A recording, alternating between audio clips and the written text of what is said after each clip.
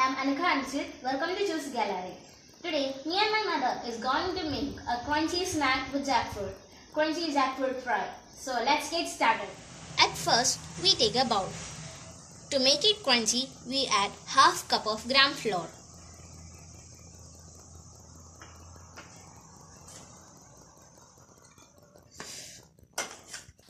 Then half cup of maida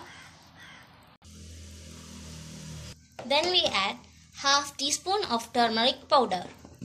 Then we add 1 tablespoon of chili powder. Then we add pepper powder and garam masala. Then mix it very well. Add pinch of salt. Add half cup of water. Make it like this without no lumps. Then wait for a while.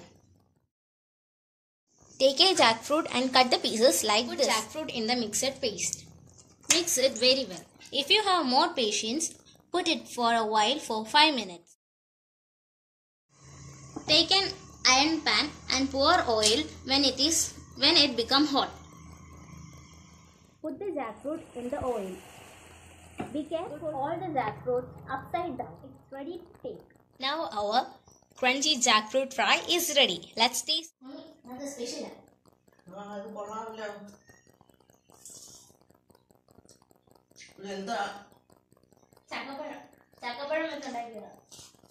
വളരെ നല്ലത്. ഇത് ഏത്തക്കാപ്പത്തിന്റെ കൂട്ട് തന്നെയുണ്ട്. നല്ല രുചി.